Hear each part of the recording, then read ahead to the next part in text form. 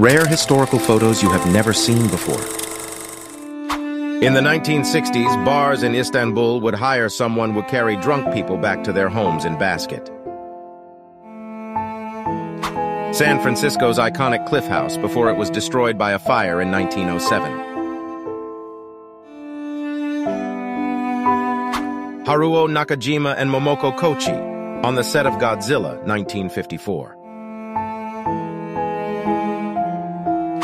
Construction workers of the skyscrapers in New York City 1931. Women walking around in Kabul, Afghanistan 1972.